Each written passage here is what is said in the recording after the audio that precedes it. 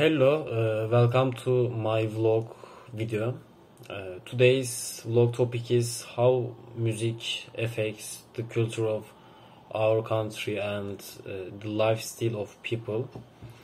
Uh, firstly, I will talk about music tips. Firstly, Turkish classical music. Uh, its Turkish meaning is Osmanlı müziği. It is often performed with traditional uh, instruments like the oud, ney, and kanun. Um, it holds a significant place in Turkish cultural um, religious ceremonies and classical music concerts. Secondly, uh, Turkish folk music. Its Turkish meaning is Türk halk müziği. Folk music in Turkey varies across different regions and ethnic groups.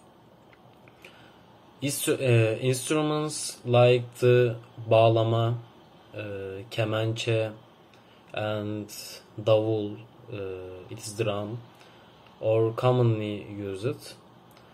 Folk music often tells stories of daily life, may, daily life history, maybe uh, law and struggle, serving uh, as a reflection reflections of Turkish cultural uh, heritage. Another music tips, uh, pop music.